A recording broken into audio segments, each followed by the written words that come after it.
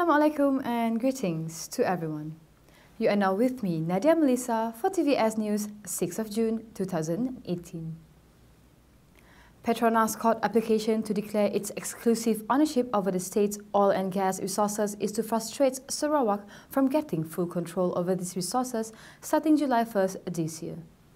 In a statement, Sarawak United People's Party SUPP said the Malaysia Agreement 1963 Sarawak Alteration of Boundaries Order in Council 1954, the Federal Constitution and Sarawak Constitution are all supporting the state's claim on sovereignty in the oil resources found in Sarawak territorial waters.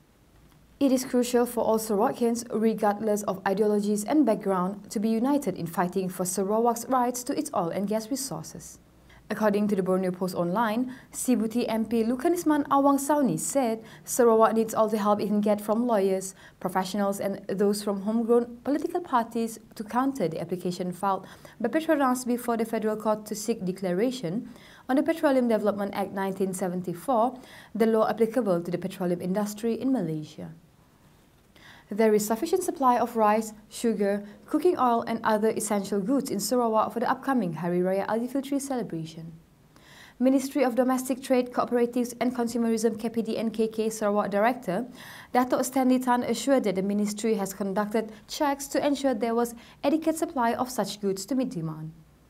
He also noted that KPD NKK Sarawak enforcement officers will continue to monitor and conduct inspections to ensure that items being sold are not manipulated.